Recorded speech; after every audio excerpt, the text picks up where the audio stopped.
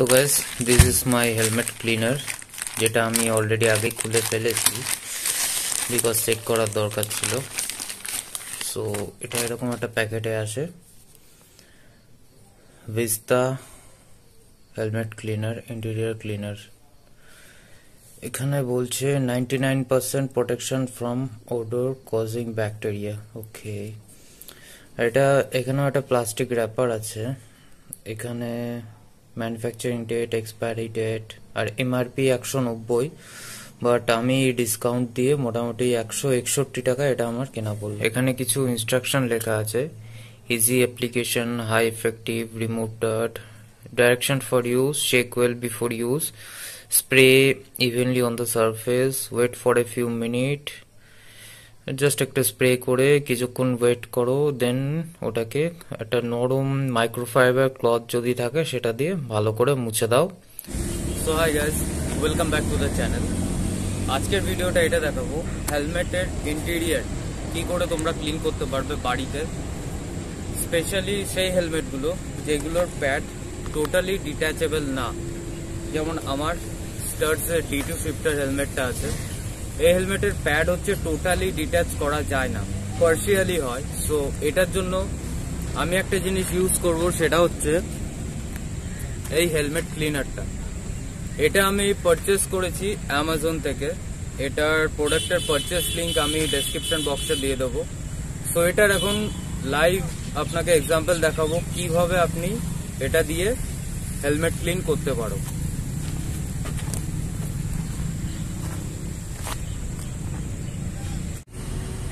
First of all এটাকে ভালো করে ঝাঁকিয়ে নাও।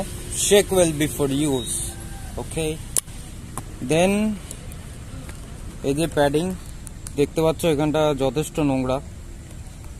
সো এবার এটাকে অ্যাপ্লাই সব জায়গায় ভালো করে অ্যাপ্লাই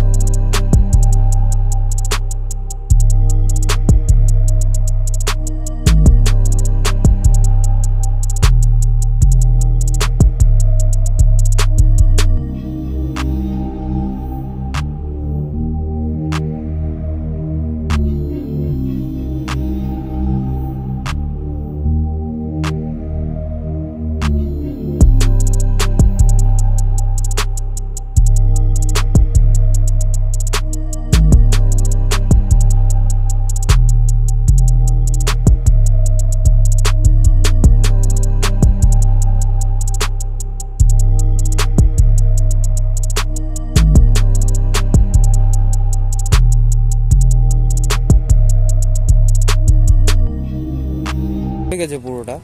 কিন্তু এখানে একটু ভেজা ভাবটা থেকে গেছে। সো অন দ্য গো এটা করা যাবে না। করলে ঠান্ডা লাগা তো অনিবার্য। এটা করে স্টেবল রাখতে হবে ঘন্টাখানেক আই থিঙ্ক তাই, তারপরে এটা শুকিয়ে যাবে। বাট পরিষ্কার হয়ে গেছে সেটা আমি হাত দিয়ে বুঝতে পারছি। সো আমার একশো একাত্তর টাকা যেটা দাম পড়েছিল এটা ওয়ার্থ বলব। পরিষ্কার হয়ে গেছে এটা। ভালো। সো গাইজ ভিডিওটা ভালো লাগলে ভিডিওটা লাইক